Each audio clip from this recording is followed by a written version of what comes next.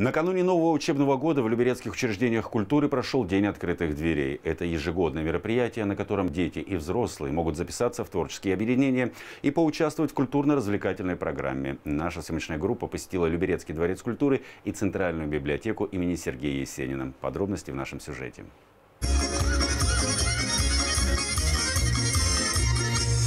День открытых дверей в Люберецком округе проходит весело и с пользой. Перед Дворцом культуры выступили творческие объединения. Среди гостей много семей с детьми, например, семья Лопатниковых. Сюда пришли, чтобы познакомиться и записать сына в театральную студию. Мы шли к этому руководителю, которому нам посоветовали уже другие люди, э, которые у него занимались.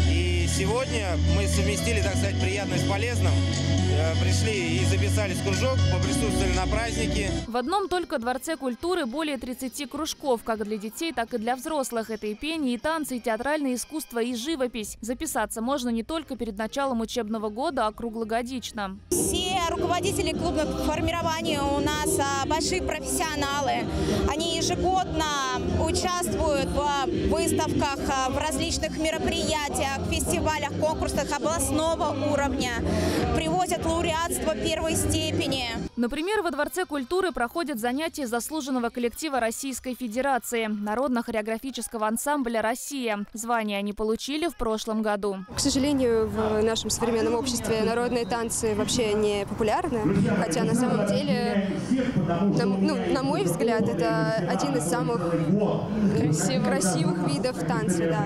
Поэтому очень сильно хотелось бы, чтобы современная молодежь, дети, они занимались именно этими номерами. Акцию «День открытых дверей» поддержали все учреждения культуры округа. Ознакомительную программу подготовила и Центральная библиотека имени Сергея Есенина. В этом году в нее вовлечены не только дети, но и взрослые. Сегодня у нас для родителей именно, наверное, неожиданно. Они приводят сюда детей и не думали, что и для них найдется интересное занятие. Но, тем не менее, а, это лекция нейропсихолога о том, как правильно подготовить ребенка к школе после длительных летних каникул.